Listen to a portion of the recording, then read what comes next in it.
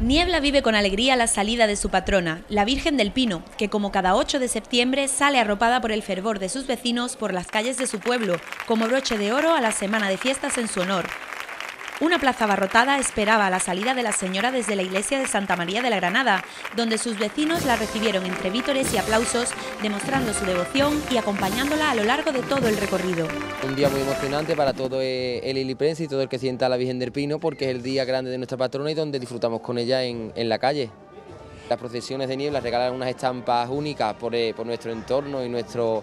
nuestro casco histórico y sobre todo la cara de la Virgen que lo dice todo. Las fiestas han tenido un extenso programa, protagonizado por sus tradicionales capeas y una gran variedad de conciertos en el recinto ferial, que se han extendido hasta el domingo, día de las últimas actividades culturales y deportivas y último día de capeas. Este día 8 de septiembre está marcado en el calendario de hace tiempo y esperamos todos los iriplienses la llegada de este día,